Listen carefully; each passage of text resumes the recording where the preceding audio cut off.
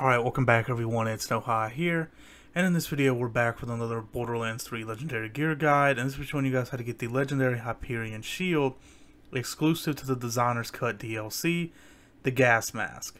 Red text is fight until the end, until your last breath. Fight for your lifetime is increased by 50%, plus 15% chance to absorb bullets as ammo, plus 5% max health per second while shields are full, when damaged, has a 15% chance to drop a booster that restores 8% of shields. Capacity is 44,767. Recharge delay is 4.6. Recharge rate is 5,928.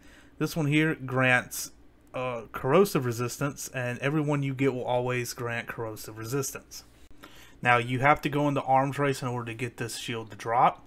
You can get it from the chest right there near the left side. You can actually get it from two chests it's the one with the Madcap. It's right below the Hot Spring Best Beskar chest, right above the Holy Grail and the Death Rattle chest. Now, you can also get it as a world drop within Arms Race and from the final boss. As you can see here, I got mine as a world drop from just a random enemy. Alright, so basically, literally all this shield does is it grants you plus 50% fight for your lifetime. Here is my fight for my lifetime, as you can see right there, without the shield on. Here's fight, my fight for my lifetime with it on. And as you can see, it is going down slower. So you're going to get more fight for your lifetime whenever you have this shield equipped. All the other stuff is just random. You can get it to roll on the shield or you can't. The only thing that is always on this shield is the plus 50% fight for your lifetime.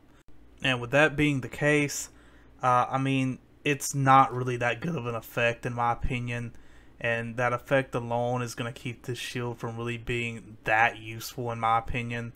I mean, the recharge rate and delay is pretty middle of the road in my personal opinion, for my preferences.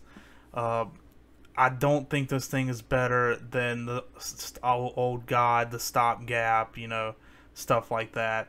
Uh, the top shields in the game are, you know, they're the top shields in the game for a reason because they have really good effects and they have really good recharge rate and stuff like that. I just don't think this is one of them. I mean, the only thing this is giving you is plus 50% fight for your lifetime. I mean, you might have a build that this weapon works really well in or something like that, but I can't think of one. But if you do have one, feel free to leave it in the comments. I just don't feel like plus 50% fight for your lifetime is really that useful in my personal opinion. But yeah, that's all I have in this video, guys. Feel free to leave a like, comment, and subscribe if you guys enjoyed it and I'll see you guys on the next one.